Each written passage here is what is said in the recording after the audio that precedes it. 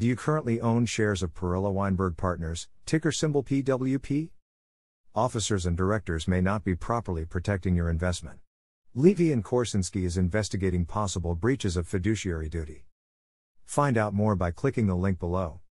What is a fiduciary duty? Directors and officers of publicly traded companies owe the shareholders of those companies a fiduciary duty. Generally, this duty requires that the officers and directors act in the best interests of shareholders, managing the company competently, ethically, and efficiently. How can those duties be breached?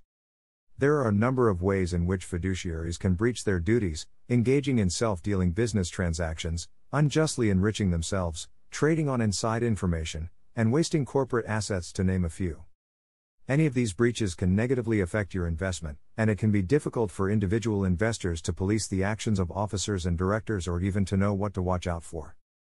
If you believe company insiders may be harming your investment, click the link below to get more information on the Perella Weinberg Partners investigation.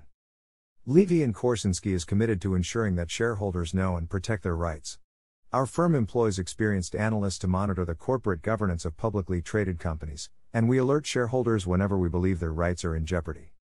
Prior results do not guarantee similar outcomes, and this video may be considered attorney advertising under the laws of your state.